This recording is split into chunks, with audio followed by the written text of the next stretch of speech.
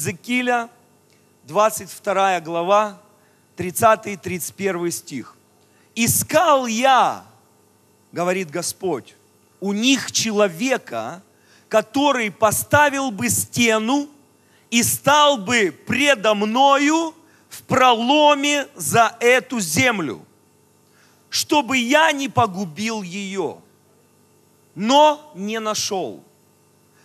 Итак, и залью на них негодование мое, огнем ярости моей истреблю их, и поведение их обращу им на голову, говорит Господь Бог. Друзья мои, мы видим очень серьезное предостережение Бога. Это слова не проповедника, не пастора, не служителя. Это сам Бог дает свое понимание очень каких-то важных вещей в жизни не только персонально человека, а целой земли. Или подразумевая под словом земли, это поколение, в котором ты и я живем. Это наши семьи, это наш род и дом. Это те люди, которые нас окружают. Это наша земля, за которую мы отвечаем перед Богом и перед этой землей. И Бог очень категоричен, и Он говорит, я искал человека, чтобы предотвратить гнев, ярость и истребление. Вдумайтесь, гнев, ярость и истребление. Не из-за того, что Бог такой злой и такой, как бы, ну, мстящий. Нет. Из-за того, что люди, нарушая Божьи заповеди, они автоматически оказываются по ту сторону реки жизни. По ту сторону, где на одной стороне благодать, милость, любовь. И если мы соблюдаем Божьи заповеди, это все распространяется в нашу жизнь. Но по другую сторону жизни есть проклятие. И проклятие это начинает работать в жизни нарушителей Слова Божьего, заповеди Господних. И для того, чтобы вот гнев, ярость и истребление не пришло на голову нарушителей, Бог может изменить свой приговор, если он находит человека, который бы стал в проломе за погибающий мир. Что значит стать в проломе? Что значит отсрочить или вообще отменить тот приговор, который может стать реальностью в жизни непокорившихся грешников? Первое – это личное осознание ответственности за судьбу погибающего мира. Лично я лично ты, лично мы понимаем, что на нас лежит эта ответственность. Все начинается с нашего мышления, все начинается с понимания, что если не я, то кто? Если не сейчас, то когда? И когда мы начинаем так мыслить и начинаем смотреть на этот мир глазами висящего Сына Божьего на кресте Голгофы – мы начинаем действительно осуществлять все очень важные поступки и действия, предотвращающие гибель утопающих во грехах грешников. Матфея 16 глава, 18-19 стих. Иисус говорит, обращаясь к апостолу Петру, а сегодня это слово касается каждого из нас. Он говорит, я создам церковь мою, которую врата ада никогда не смогут одолеть. И я дам тебе, дорогая церковь, тебе, драгоценный верующий человек, ключи от Царства Небесного. Все, что ты, как верующий человек, свяжешь на этой земле, будет связано на небе. То есть я продублирую твое решение, которое ты примешь на земле. Но все, что ты разрешишь на земле, будет разрешено и на небе. Другими словами, Бог уполномочил нас своей властью представлять Его интересы на этой земле. И в Новом Завете Библия говорит, что каждый из нас, не только пастор, но каждый из нас, Божий человек, он имеет три ипостаси. Он царь, священник и пророк Бога на этой земле. Ой, ну я царь, у меня такое прошлое, у меня столько минусов в жизни. Царь это не значит тот, которому будут поклоняться. Царь это тот, который имеет власть. Царь отличается от слуги тем, что он уполномочен провозглашать и его царское слово, как Библия говорит, где слово царя, там власть царя, царственное священство. Священник – это представитель Бога на земле. Этот грешный мир видит Бога через нас, как посланников небесного царя. И мы от имени народа представляем наше поколение, нашу землю перед Богом. Вот такое двойственное значение слова «священник». И пророк, как человек, который может говорить пророческое слово, и оно как молот, как молот может разрушать любую скалу. Слово пророческое, которое мы имеем, оно изменяет ситуацию на этой земле. Второй очень важный момент, через который я хочу объяснить, что значит стать в проломе за эту землю. Он написан в первой книге Царств, 12 главе. Господь же не оставит народа своего ради великого имени своего, ибо Господу угодно было избрать вас народом своим, говорит пророк Самуил. И 23 стих очень важен. И я также не допущу себе греха пред Господом, чтобы перестать молиться за вас и буду наставлять вас на путь добрый и прямой. Посмотрите, вторым объяснением понимания, что значит стоять в проломе за землю, которую Бог дал в твою и мою ответственность, пророк Самуил говорит, я никогда не допущу себе греха перед Богом перестать молиться за вас. Христиане, которые не молятся за погибающий мир, христиане, которые не молятся за своих братьев и сестер, христиане, которые не молятся за интересы Царства Божьего, они грешат. Посмотрите, как Бог смотрит на эти вещи. Он говорит, это грех. Самуил говорит, это для меня грех, если я не молюсь за Божий народ. Если я не молюсь за тех людей, которые нуждаются в моей молитве. Вот почему сегодня мы собрались на этом месте, чтобы молиться, чтобы перестать грешить перед Богом. Человек, который уполномочен властью, но он не делает, на что рассчитывает Бог, он грешит перед Господом. Быть в проломе за землю – это быть в молитве за эту землю. Третье объяснение, что значит быть в проломе за землю, здесь в 23 стихе говорит, «И буду наставлять вас на путь добрый и прямой». Знаете ли вы, друзья, что люди в этом мире, они бы, может быть, и поступали правильно.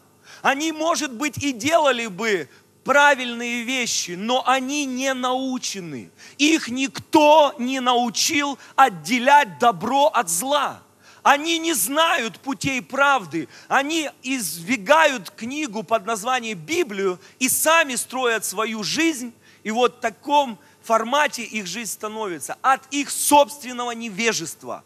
И вы знаете, когда я смотрю некоторые программы, ток-шоу по ведущим каналам бывшего Советского Союза, российские, украинские, и когда всплывает какая-то тема очень такая, знаете, интригующая или актуальная, например, тема какой-то семейной разборки. И вот есть такая программа «Пусть говорят», Малахов ведет, да, телеведущий. И когда он дает возможность высказать свое отношение к этой ситуации у политиков, у актрис, у всевозможных представителей элиты, у простых людей, когда они начинают высказывать, что они думают по этому поводу, я за голову хватаюсь, у меня волосы дыбом. Как мыслят эти люди?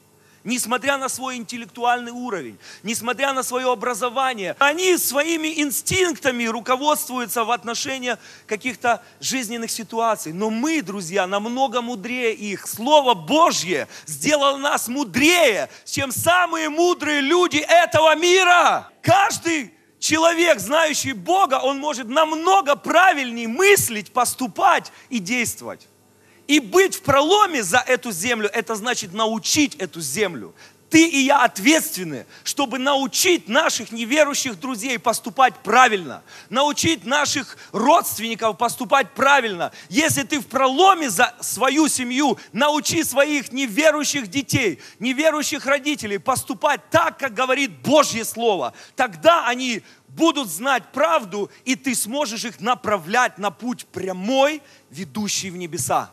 Четвертое объяснение, что значит быть в проломе за эту землю, написано в книге, друзья, Второзаконие, 9 главе, с 13 по 21 стих. Речь идет о том, что Моисей, который взошел к Богу на 40 дней и ночей на горе Синай он возносил Господу молитвы. И Бог на горе Синай дал ему 10 заповедей. Библия говорит, что сам Бог своим перстом написал на скрижалях закон, который Моисей принес народу. И когда он им принес этот, этот закон, он увидел страшную картину. За 40 дней, пока он находился в Божьем присутствии, израильтяне развратились. Они забыли о том Боге, который вывел их из египетского плена. И они сделали себе золотого идола. И весь народ во главе с Аароном поклонялся идолу, золотому тельцу, едущему траву. И вы знаете, было настолько ужасное зрелище, что здесь написано, э, что Бог предложил Моисею, говорит, давай я истреблю их, и через тебя начну новый народ, более сильный, многочисленный и так далее и тому подобное. Но Моисей сказал, ни в коем случае, нет, если хочешь их истребить, истреби первого меня. И вы знаете, очень интересно, какую позицию занял Моисей в проломе за свой народ. Вот здесь написано, 19 стих. Ибо я страшился гнева, ярости, которыми Господь прогневался на вас. Это он говорит уже второй раз, книга Второзакония, когда он повторяет закон Бога уже новому поколению, родившихся на остатках старых погибших грешников. Здесь он говорит, я страшился гнева, я страшился прежде всего за вас. Бог гневался на вас и хотел погубить вас. И послушал меня Господь, и на этот раз послушал меня Господь. И 20 стих очень важен. И на Аарона, несмотря на все его священство, Бог весьма прогневался и хотел погубить его, но я молился за Аарона в то время. 21 стих, очень важный для понимания, что значит стоять в проломе за свой народ. Грех же ваш, который вы сделали, тире, тельца, я взял и сожег его в огне, разбил его и всего истер до того, что он стал мелок, как прах, и я бросил прах сей в поток, текущий с горы. Посмотрите, что произошло в сердце Моисея. Он стал в проломе. В чем? Он не начал свой гнев изливать на евреев. Он не начал свой гнев изливать на израильтян. Он излил свой гнев на золотого тельца, как на того Бога, который в кавычках пристегнул сердца Израиля. И он написано, я в огне. Это как прообраз огненной молитвы. Я в посте разрушил его, этого золотого идола, и стер его до такой степени, что он стал мелок. То есть, другими словами, израильтяне, которые вчера восхищали золотым тельцом, они увидели в совсем другом ракурсе этого Бога. И они увидели, что он настолько ничтожен, что ему не стоит поклоняться. По сравнению с живым Богом, этот золотой идол не стоит и ломаного гроша, даже если он из золота. Вы знаете, что приводит к переменам в жизни людей? Не из-за того, что мы запрещаем им грешить, а из-за того, что мы показываем мерзость того греха, который дьявол, может быть, не афиширует. Последствия той греховной жизни, о которой дьявол умалчивает. И я скажу вам, наш гнев, когда мы молимся, не должен быть на грешников. Наш гнев должен быть на грех, к которому привязаны эти грешники. Потому что Бог любит грешников, а ненавидит грех. И если ты хочешь стать в проломе за свою землю, не, не делай что-то, что будет унижать твоего человека или твою семью. Воюй с грехом, с золотым тельцом, который споймал твоих близких в эти цепи греха. Воюй с этим золотым идолом. Сосредоточь свою молитву не на то, чтобы повредить своему ближнему, а на то, чтобы в глазах твоего ближнего этот грех стал мелким. Как только человек возненавидит грех, о, его больше не надо контролировать, он грешит или не грешит. Как только этот золотой идол станет маленьким и ничтожным, человек просто увидит, скажет, какая гадость, как я мог жить по таким законам несправедливым. Знаете, я вспоминаю, как Кеннет Коупленд рассказывал, когда ему было 16 лет, и он, как все молодые парни, уходил на дискотеку, и там девчонки, танцы, алкоголь, сигареты. Его мама после того, как он вышел из дома, становилась на колени, и она просила Бога простой молитвой. Бог, я прошу Тебя, пусть тот грех, который сегодня ему, моему сыну предлагает этот мир, будет таким отвратительным, что он просто возненавидит его.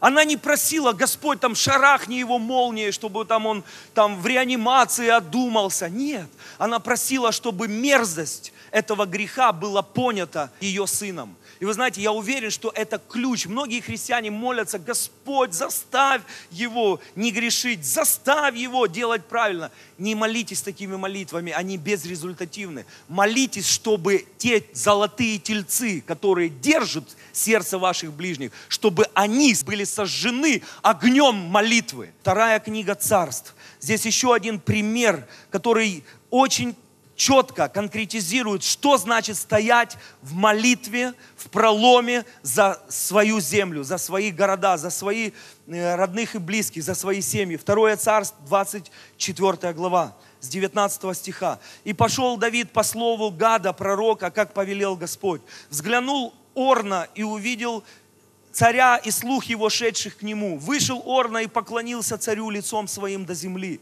И сказал Орна, зачем пришел господин царь мой к рабу своему? И сказал Давид, купить у тебя гумна для устроения жертвенника Господу, чтобы прекратилось поражение народа. И сказал Орна Давиду, пусть возьмет и вознесет в жертву господин мой царь, что ему угодно. Вот валы для всесожжения, повозки, упряжь воловья для на дрова. И все это царь Орна отдает тебе даром. Еще сказал Орна царю, Господь, Бог твой, да будет милостив к тебе. Но царь сказал Орне, нет, я заплачу тебе, что стоит, и не вознесу Господу Богу моему жертвы, взятой даром. И купил Давид гумно и волов за 50 циклей серебра и соорудил там Давид жертвенник Господу, и принес всесожжения и мирные жертвы, и умилостивился Господь над страною, и прекратилось поражение израильтян. Я уверен, друзья, что это яркий пример, как стоять за своих единоплеменников. Давид сказал, я должен принести жертву Богу, потому что это умилостивит сердце Небесного Отца – это остановит поражение в Израиле. Я верю, что когда мы приносим мирную жертву, что такое мирная жертва? Это жертва за примирение. Мирная – это значит примирить грешника со святым Богом.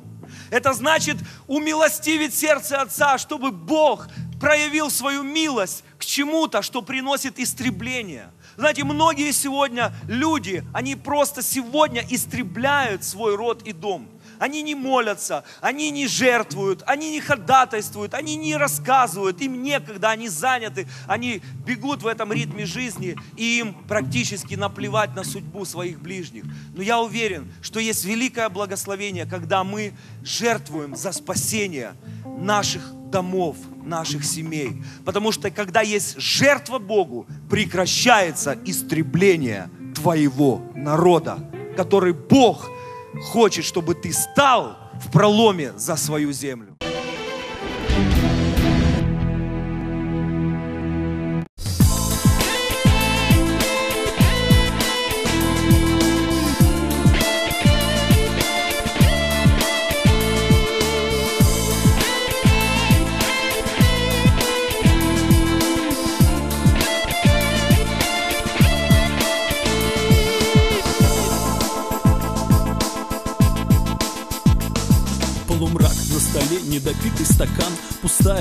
Бутылка, мерцает экран. Ты жжешь сигареты одну за другой Но не знаешь, что завтра будет с тобой. Ты все рассчитал, ты уверен в себе. В корешах, в пистолете системы ТТ. Ты с детства король был в своем дворе. Но завтра ты пешка в их грязной игре. Ты дорого стоишь, ты мастер убивать На слезы людей, тебе наплевать Ты высокого мнения сам о себе. Но послушай, я знаю кое-что о тебе. Для тебя чья-то жизнь источник валюты Но теперь и твоя мешает кому-то Ты куплен и продан в последний раз. Подумай, сегодня есть один шанс.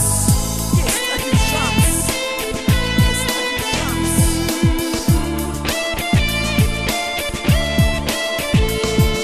Светит окно на восьмом этаже Оно до утра не погаснет уже. Звонка телефона здесь ждут как спасение. Страх превратил в бесконечность мгновения Мат пьет валерьянку, круги под глазами. Отец нервно ходит в помятой пижаме. Остался нетронут на кухне обед. Сутки как дома их дочери нет. Семейная ссора, обычное дело. Я понимаю, тебе все надоело. Тебе классно в компании взрослых парней Но с ними знакомо. Лишь несколько дней Ты чувствуешь телом их пьяные взгляды. И скоро пойдут совсем другие расклады. Поверь мне, все это случалось не раз. Но сегодня у тебя есть один шанс. Есть один шанс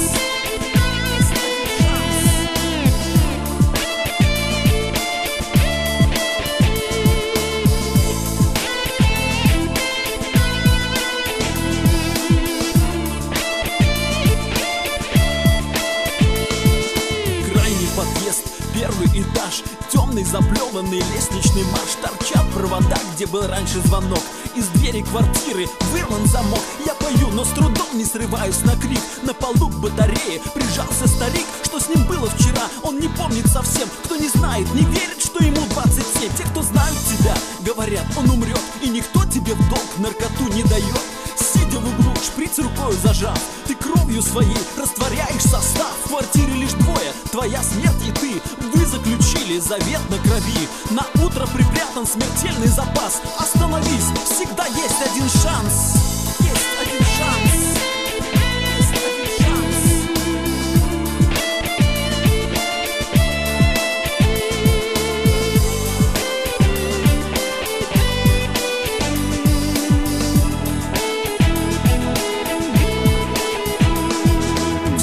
нам нужно, только любовь. Мы пели и шли проливать чью-то кровь. Мы искали оправдание состоянию войны Взамен находя лишь чувство вины. Как всегда были те, что внушали всем нам Что земные дороги не ведут к небесам. Страдания и смерть, вот что видим вокруг. И Бог тут ни при чем, это наших рук Пустые идеи, нелепые споры Бесцветная жизнь, ни о чем разговоры Жажда наживы, бессмысленный страх Извне управляемый мозг в головах Слепые вожди ослепленных народов Рабство греха вместо царства свободы Но есть тот, кто не сломался, умирая за нас Воскрес и сегодня дает миру шанс.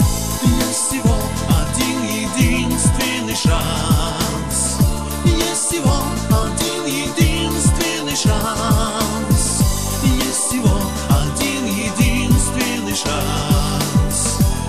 всего один единственный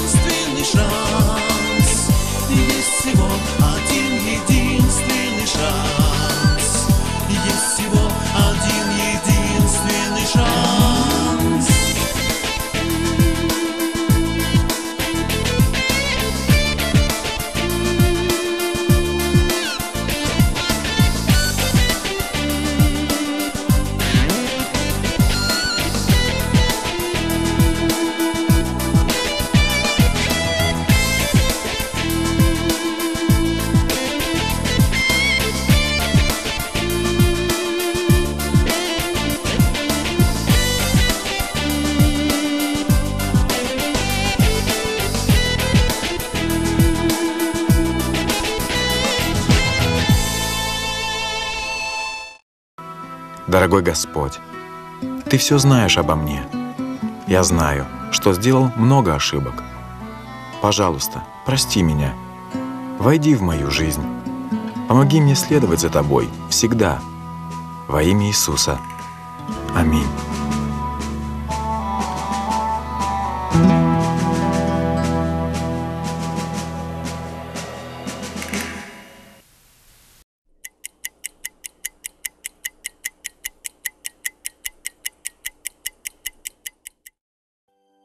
Уважаемые друзья, дорогие мужчины и женщины, я хочу сегодня обратиться к вам с очень важным предложением.